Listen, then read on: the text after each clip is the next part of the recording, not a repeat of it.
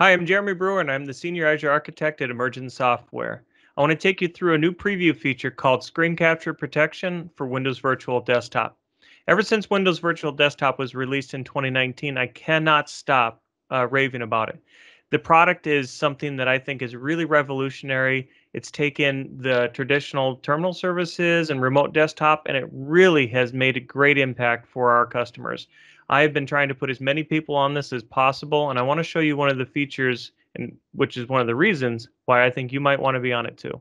According to the Microsoft documentation, we should be able to enable a preview feature. And it looks like all we need to do is enable this specific registry key.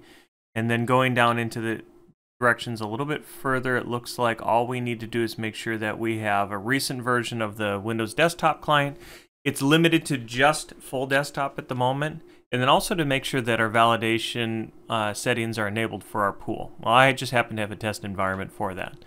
So let's take a quick look at that.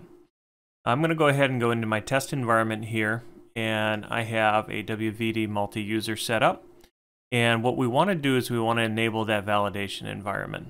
So we're going to go into the pool, go into properties here for that pool, and we're going to enable this for validation. Go ahead and save that. Now that that's done, and we have to make sure that we have the most recent version of Windows Desktop, which we do, uh, then it seems like all we have to do is enable that registry key.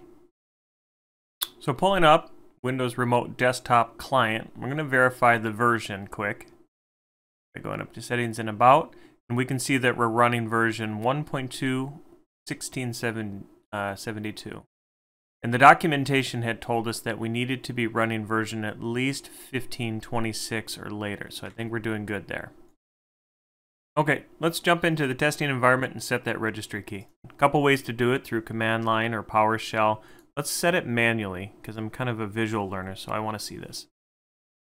what we'll do is we'll go over to the Terminal Services Policies section here, so H key local machine. It's going to be Software, Policies, Microsoft, Windows NT, and terminal services. And in here, we're going to set a DWORD value. New DWORD. And we're going to go ahead and grab the name here out of the documentation. Paste. And it is going to include that F right there at the beginning, okay? And then we're going to go ahead and set this value to a 1 to make it true.